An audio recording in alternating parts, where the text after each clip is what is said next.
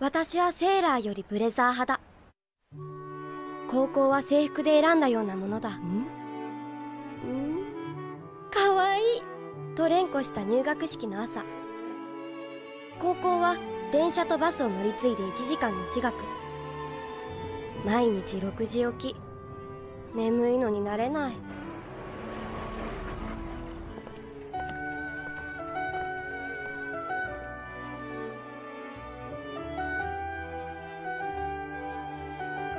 校に入ってから2キロ太った。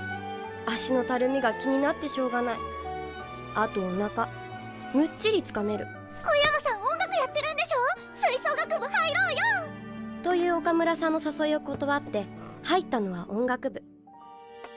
幼い頃からやっていたバイオリンを続けることにしたのだ。と言っても始めた動機は綺麗なドレスを着たかったから。それでも10年以上それなりに頑張ってきた。音楽部で早速仲良くなったのはひーちゃんとりなそこに松本先輩を加えて文化祭に向けてベートーベンの弦楽四重奏曲をやることになった。じゃあ頭から。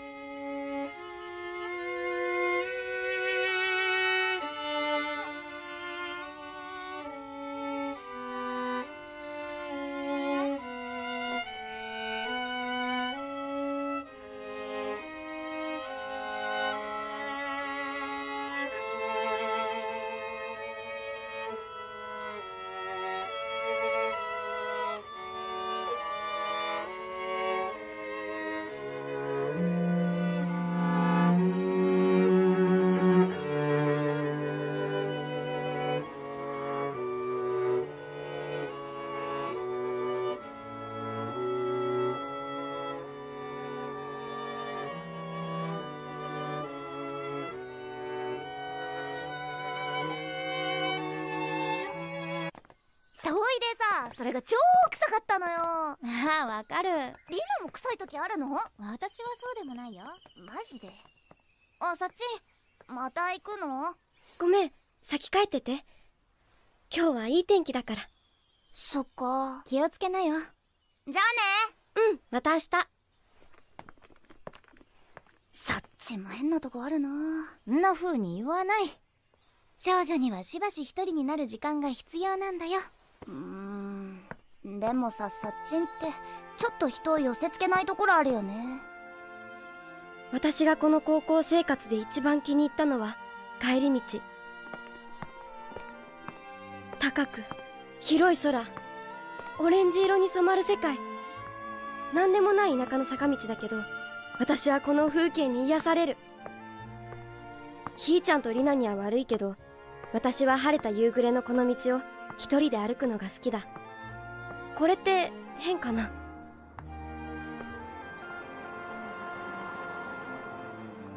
ここから脇道にそれる。生徒の来ない。私だけの秘密のスポット。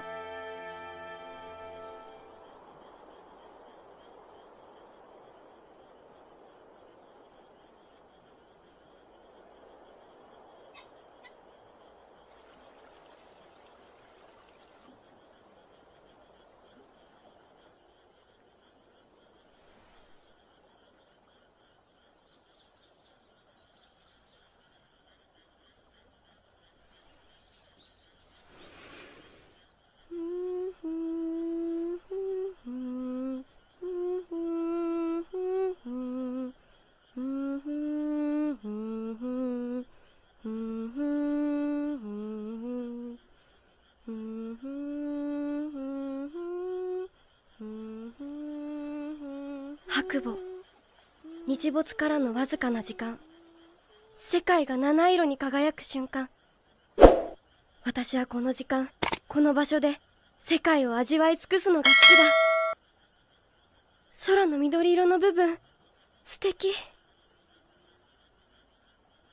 バスが来るまでこの風景を独り占めにする。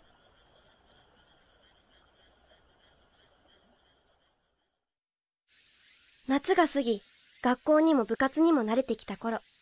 そろそろ彼氏作りたいよね。あひーちゃんは最近ずっとこうだ。ー夏休み何にもなかったしな。花火大会行ったじゃん。ほ私たち3人ででしょ。男って全くなし。だから元彼誘えばよかったじゃんか。元彼言わない。あれはただの幼なじみえー、でも昨日も LINE 来てたんでしょ？あいつは彼女だから話し相手が欲しいだけ。まだガキなんだから。音楽部は男子部長一人だしね。サッチンって男の影ある気がするな。え何？サッチン可愛いもんいたでしょ。えいないいない。本当に？ほんとほんとじゃああのワーグナーに誓いますか？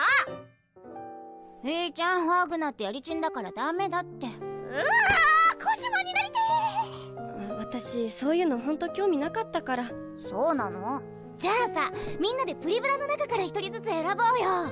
また始まった。私はずっと龍馬様一筋だからひーちゃんは奨励くんあたりがいいと思うよ。私アイドルアニメはパス。龍馬様11の時からずっと俺のもうそれって結構古くない？嫁古くない。来月もプリムに行くんだから。プリミュ？プリブラのミュージカル。ねあえひーちゃんも一緒に。行かないって。チケット2枚買ったのに。あんたもう学祭近いんだよ。あんまり合奏サボらないでよね。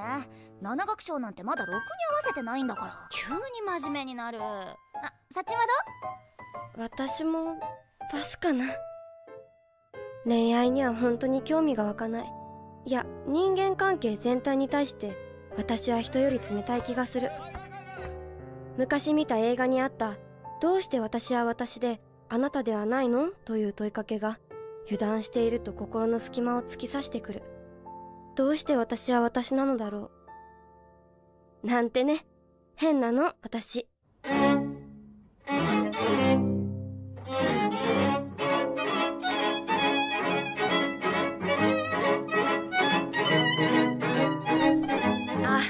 ップストップ。小山さんやっぱり走ってる。周り聞いて。はい。あと全員に言えるけど最初の4小節でしっかりテンポ作って。5小節に意識が行き過ぎてるからテンポが安定しないの。はい。小山さん2小節の急出しもっとはっきり。はい。じゃあ頭から。あ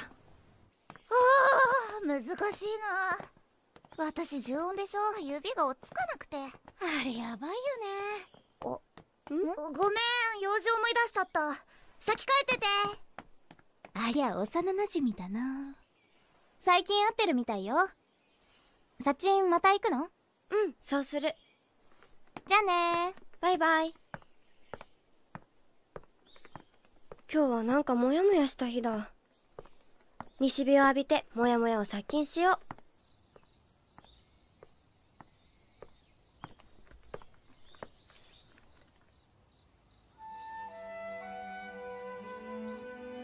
今日も素敵。雲がいろんな色を作ってくれる。頭の中でまたディーリアスが鳴っている。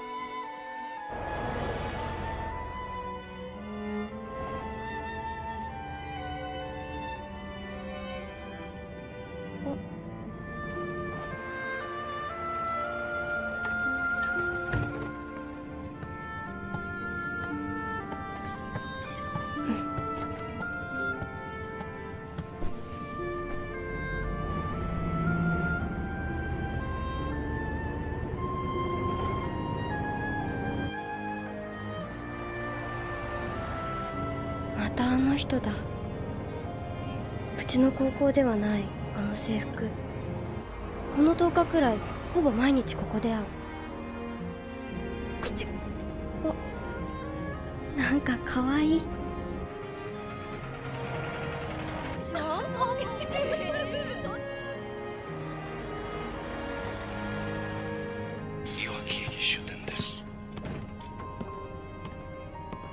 いつもここで彼を見失う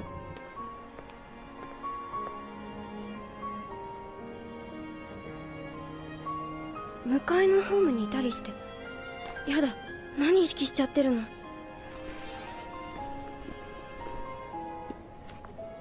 ？1ヶ月経っても進まない読書。次から漫画にするか。はい。ん？普通のカレーだけど？隠し味を入れてあるの。当ててみて。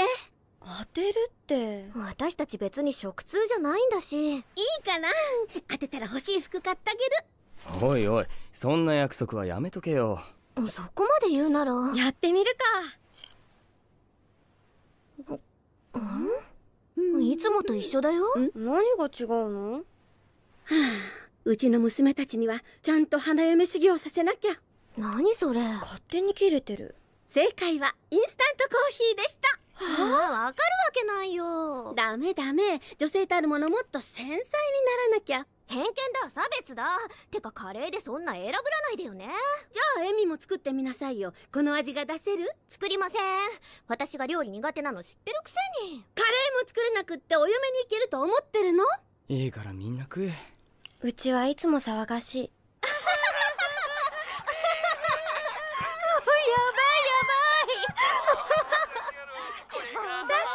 お風呂入りなさいはーいサチちょっとは明るくなってきたかな。ん？震災直後は苦労したよね。泣いてばっかりで。そうね。学校で友達はできたみたいだけど。翌日は雨だった。ストップストップ！盾全然揃ってない。勝手に引いてる。あと小山さん支部給付が取れてない。だから走るの。はい。この調子じゃ間に合わないよみんなしっかり。あんなにきつく言わなくてもな。テンポもうちょっと遅くしてくれればいけるのに。先輩許してくれないもんね。なんか部長とうまくいってないらしいよ。嘘。夏合宿の時はあんなラブラブだったのに？どうもそうらしいのよ。だから最近カリカリしてるんだ。ビオラの音に出てるよね。ガリガリガリガリって。音に出すのはやめてほしいな。それな。さっちん今日も自主練するの？ううんやるよ。一番できてないから。そうかな。あんま無理しない方がいいよ。私はやらない。家で鳴らすと親に怒られるんだもん。えそれ小さい時から？うん。パパがうるさいの。だから練習はずっとスタジオでさ。お金もバカに。私が一番できてない。今日生理だったのもあったけどずっとモヤモヤが収まらなかった。雨の日は嫌いスケッチブックの人今日はいないよね。僕にとってプロデュースとはそうね。マーケティングに逆らうってことかな。エンタメを牽引し続ける男気がない久明今彼の視線の先にはどんな未来が映っているのだろう。明日のお天気です。こんな日は気になるんだよな。環境放射線量です。もうすっかり慣れたのに。最大値は以下の通りです。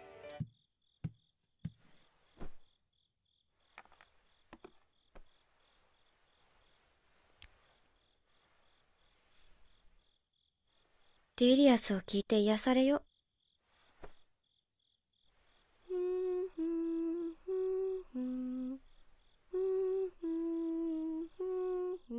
結局自主練することなくそのまま寝た。この日松本先輩が学校を休んだ。合奏ができないので個人練をしていたが弓が重い。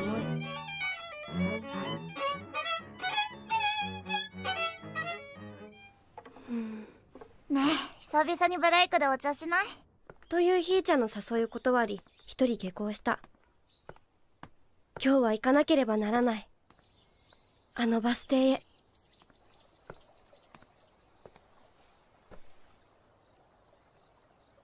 うん。次のバスに乗るべきか。それとも次の次か。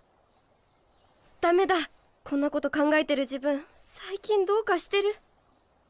口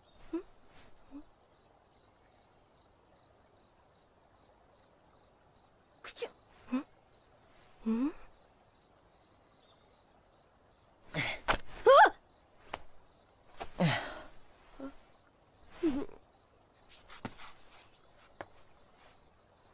あのあのすいません。あはい。この辺のことよく知ってますか？はい。いやそれなりには。この辺で緑の強い林ってないですか？緑の強い林？えっと林ですか？すいません。ちょっと来ていただけませんか？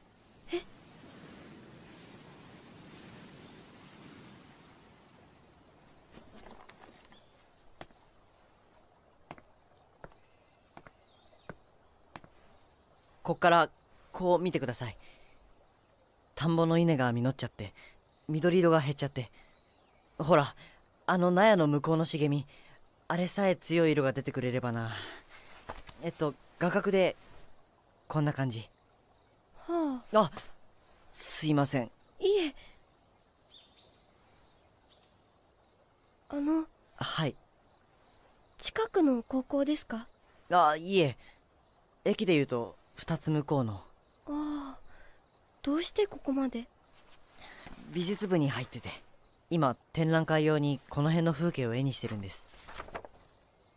こんな感じで。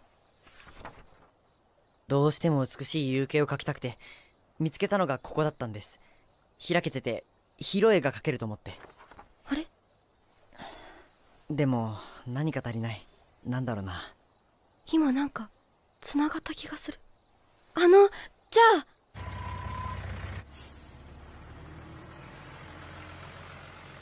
こことかは？っうーんていうかもう暗いですね。そうですね。ごめんなさい。お役に立てなくて。明日また一緒に探してもらえませんか？はい。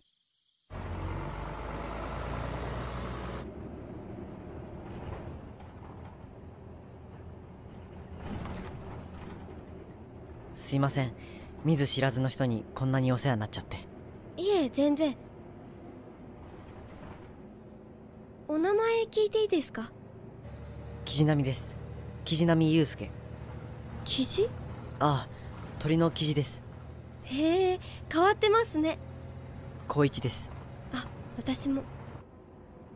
絵は昔からお好きなんですか？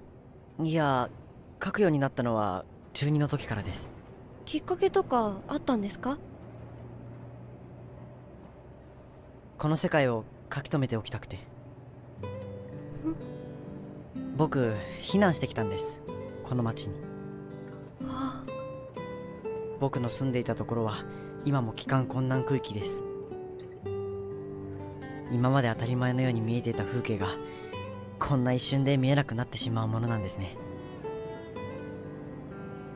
だから今生きているこの場所の記録を少しでも多く残しておこうと。写真でもよかったんですが絵の方が思いを込められる感じがして。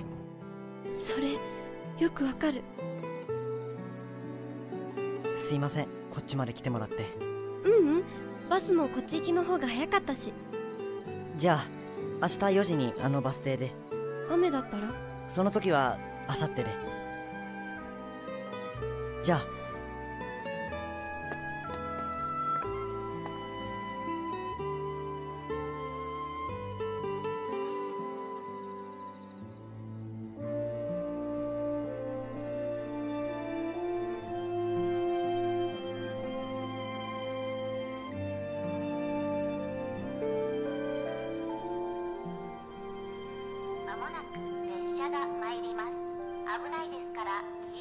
までお下がりください。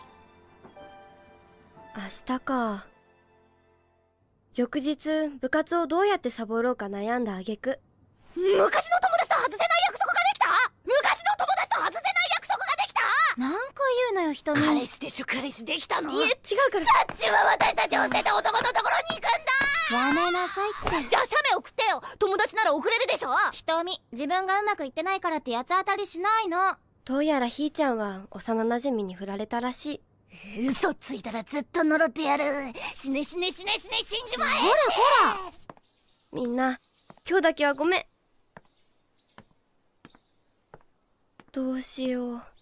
行ってどうするわけ？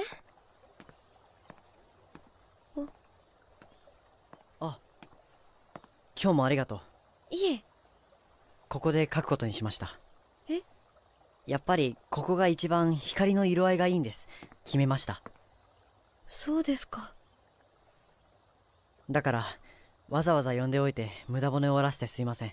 あいえいいんです。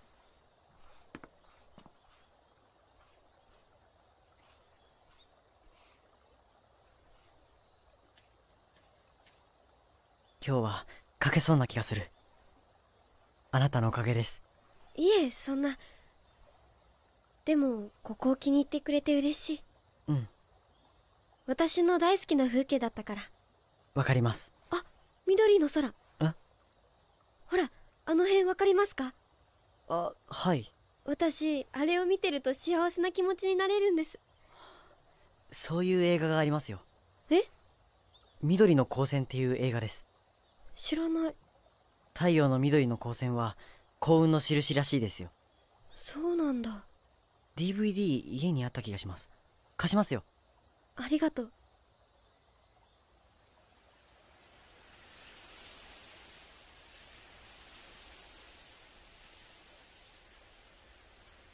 うん。帰ろっかな。何か弾いてくれませんか？はい。バイオリン。ここでですか？ダメですか？いやそんなことはお願いします。音楽があれば一気に書けそうな気がするんです。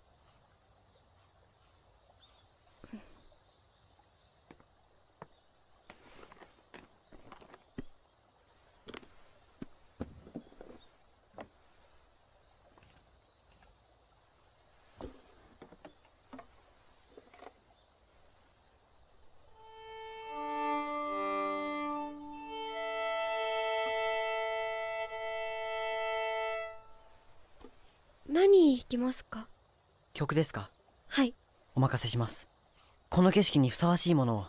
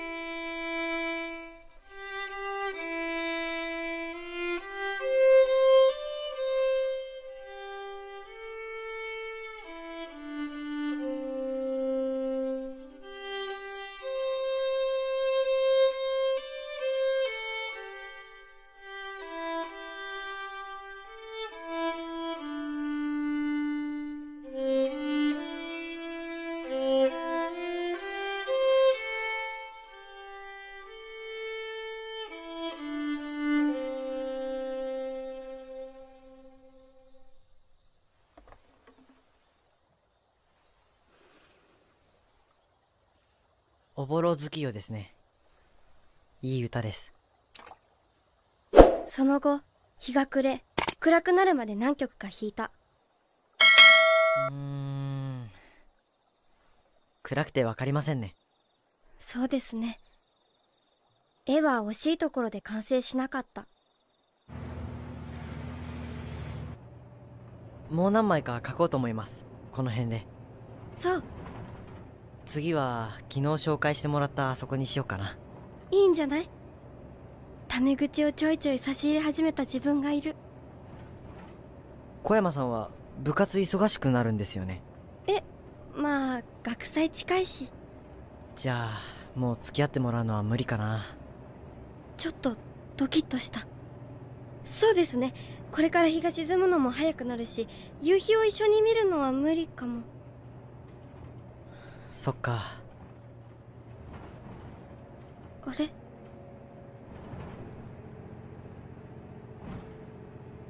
あの！あの！あいや。えっと。近いです。うわ！すいません。いえ。あなたのバイオリンまた聞きたいです。え？いやだからあのはい。LINE 交換してくれませんか？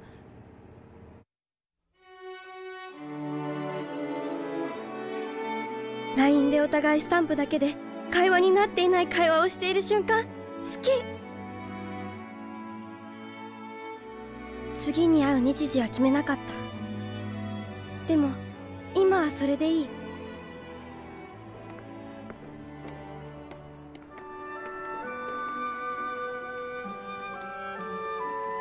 おぼろ好きよ。次の日曜日。晩飯を作る。任せといて。ん？何よ。いや熱でもあるのかと。失礼な。何があった？俺にだけ言ってみろ。確実に男ね。お父さんには言えないわね。でも作ったハンバーグは焦げた。でもお父さんはうまいうまいとしきりに褒めてくれた。うんうん。その後彼とはタイミングが合えばあのバス停で待ち合わせ一緒にバスで帰ることにした。今日はいい色が作れたとか今日はボーイングのミスが多かったとか噛み合っているようなないようなそんな会話。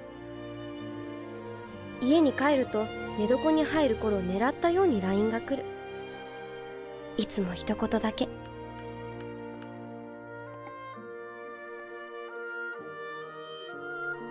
これって付き合ってるのかな？でも告白はされてないよ。女の好き嫌いなんて随分いい加減なものだと思う。という文章を思い出した。作者誰だっけ？結局ひーちゃんとリナにはバレた。嘘じゃないって付き合ってはいないから。サチンは私たちを裏切ったんだでもどうして見られちゃったんだろう。気づいてないの？当の双葉と川村あかりあの二人が。やっぱ臭いんだよね。ほんとたまんないよねあ。あそれがひーちゃんに伝わって。当の双葉さん川村あかりさん。それは本当かい？でも彼氏のようで彼氏でないかなんとなくわかる気がするなリーダーサチをかばうあそうじゃなくて女心ってそういうもんじゃない全然わかんない届きそうで届かないどこかで諦めなきゃいけない。私たちまだまだ幼いんだからそれくらいでいいのかもよ。それあんたの相手が2次元だからでしょ？失礼な3次元だってわかるよ。でもマジそんな感じかも。じゃあやっぱり恋愛いやでも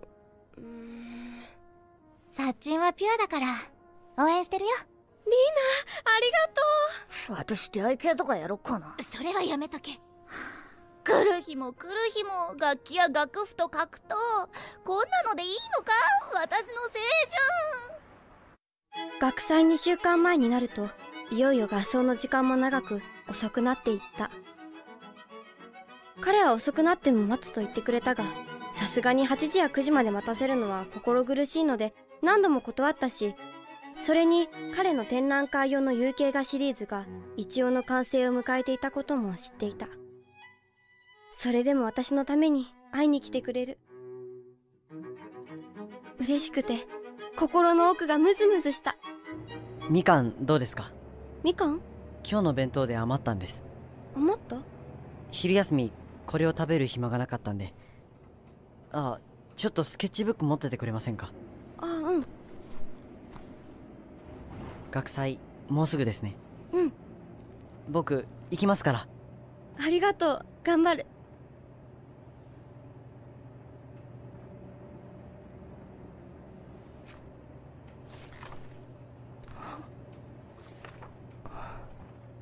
完成したんだ。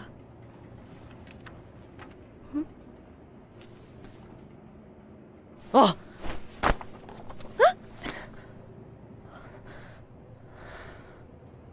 え？これはダメです。ダメ？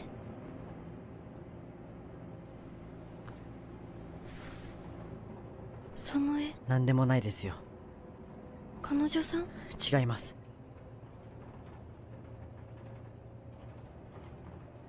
きな人。そんなんじゃないです。あのはい。誤解しないでください。誤解しませんよ。正直に言います。はい。初恋の人です。中学の時の同級生です。でも今は全然会ってなくてでもこのスケッチブックその前から使っているんですか？あれ？私なんか責めてる？昔のことを思い出して想像で書いただけです。今もその人のこと好きなんですか？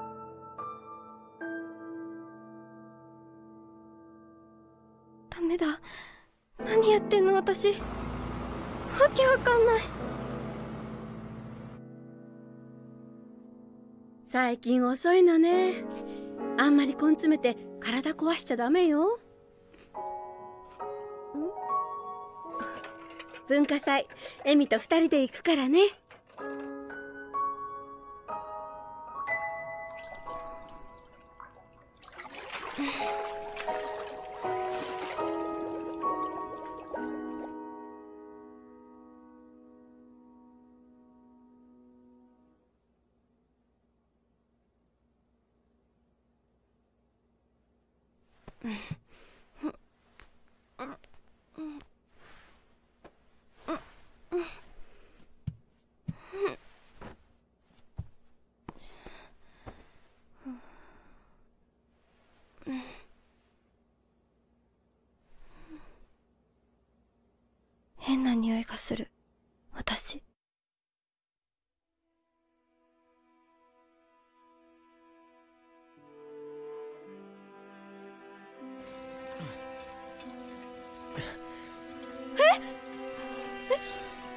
岸波くん岸波くんこ？こわあえ？え？嘘！ちょ怖い！岸波くんどこにも居場所がないんだ。消えたい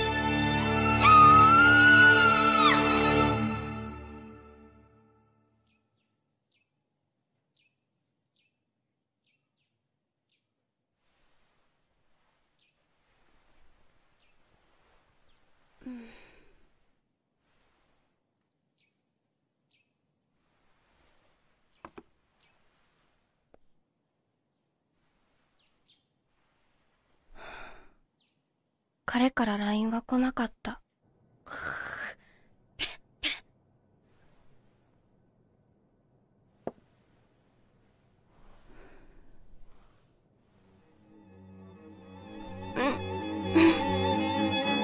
学祭まであと数日私はベートーベンの14番とひたすら格闘した私はやっぱりどうかしてたん。だ私に恋愛なん。てちょっとしたはしかにかかっていたと思うしかない私には今音楽しかない。これが私のアイデンティティだ。多分。彼学祭来るのかな？学祭前日夜遅くまでゲネプロをやった。いい音だね。本題目指してる人は違うね。私たちも一回通したけど不安の残る出来だった。みんな愛のアウフタクトのフォルテシモに丸しといて。おいバスがなくなっちゃうぞ。このす辺で。いません部長。あ。先輩ノーリガートからもう一回だけお願いします。やろう。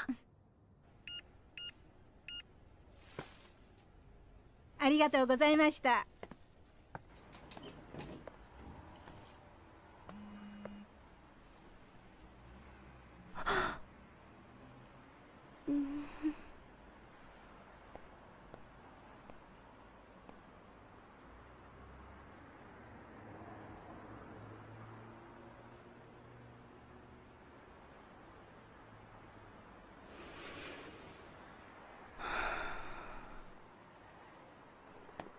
その夜演奏会への緊張なのか何なのか結局一睡もできなかった。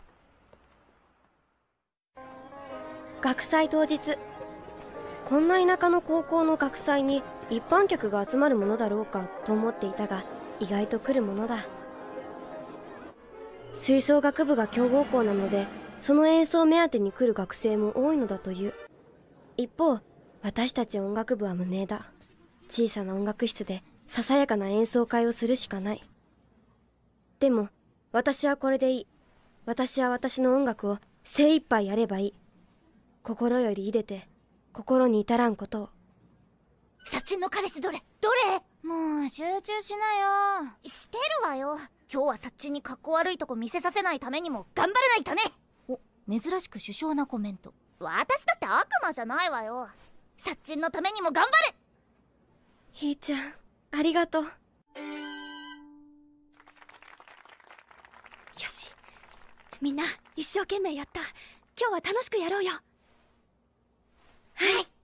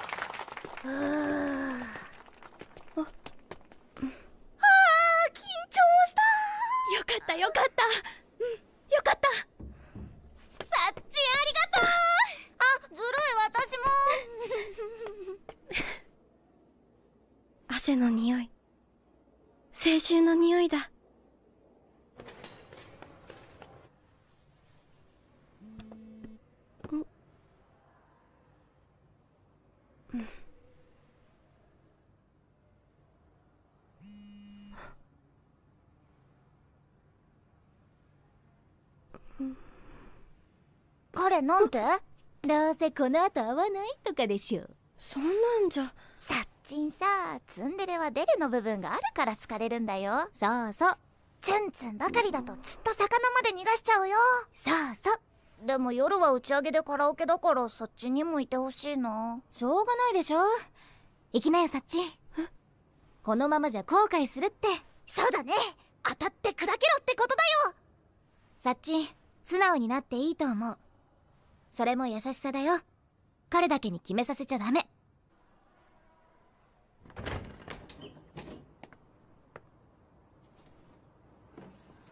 彼はいつものバス停で会おうと言ってきたがあの場所が万が一悲しい思い出になったらと思い屋上にしてもらった。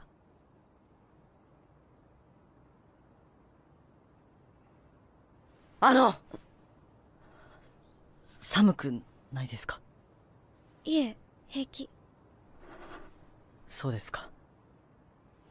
今日は来てくれてありがとう。いいえとても良かったです。やっぱりあなたのバイオリンは素敵だ。ありがとう。そのうまくは言えないんだけど。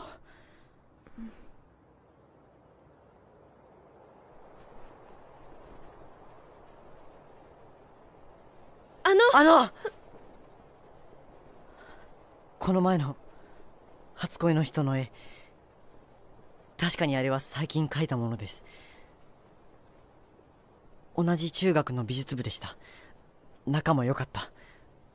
一緒に避難して仮設の校舎で一緒に過ごしてずっと一緒に絵を描いた。でも僕は結局彼女に告白できないまま高校で離れ離れになりました。僕は悔やみました。どうして何も言えなかったんだろうと。だからあなたと出会った時僕は変わろうとそう思った。彼だけに決めさせちゃダメ。あの。はい。初恋の人のこと今も好きですか？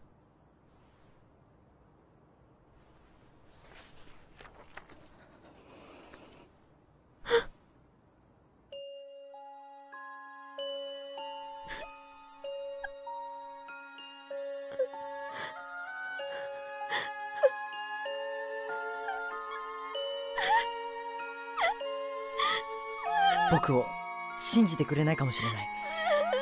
ずっと怯えてた。このままではいけないと知りながら。でももう後悔するのは嫌です。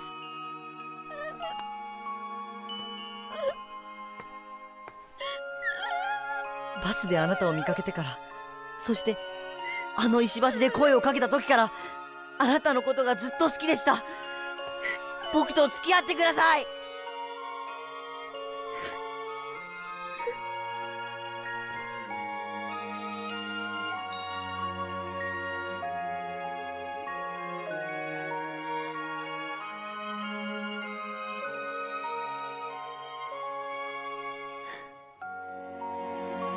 藤波くん。浮気したら許さないんだから。私もあなたが好き。よろしくお願いします。ありがとう。